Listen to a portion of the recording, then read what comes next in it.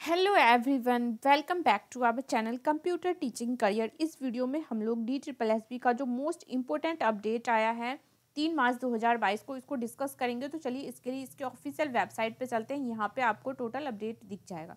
इसके लिए आपको क्या करना है, इसके official website D triple S B dot Delhi dot government dot in पर जाना है। नीचे नीचे जैसे आप स्क्रॉल करोगे तो लेटेस्ट अपडेट सेक्शन में भी आपको ऊपर की ओर दिख जाएगा और नहीं तो आप व्हाट्स न्यू सेक्शन में चले जाओ।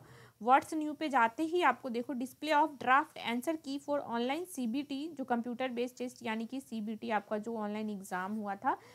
बीस फरवरी से लेके सत्ताईस फरवरी, ये डेट एक बार आप अच्छे से देख लो, कब है? बीस फरवरी से लेके सत्ताईस फरवरी 2022 यानी रिसेंटली अभी जो फरवरी में आपका एग्ज़ाम हुआ था, इसका आंसर की जो है वो आ चुका है ड्राफ्ट आंसर की आप देख सकते हैं। आपको वहाँ से डाउनलोड करना आप क्लिक करोगे तो ये पीडीएफ आपको डाउनलोड हो जाएगा। पढ़, यहाँ पे आप पढ़ सकते हो। ठीक है? पोस्ट जो था assistant foreman counsellor head clerk pharmacist Ayurveda का।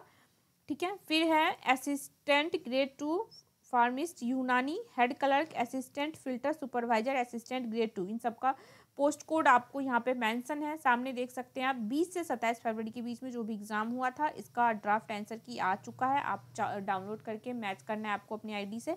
और देखो, यहाँ आपने जो भी इस वेबसाइट पे जाते ही मैंने बता दी, इस पीडीएफ के थ्रू आपको यहाँ से दिख जाना है। फिर आप लॉगिन करके क्या कर सकते हो, लिंक जो है आपका, जो आपका आंसर किया, उसको देखने का लिंक अवेलेबल रहेगा तीन मार्च से लेके सात मार्च तक, ठीक है?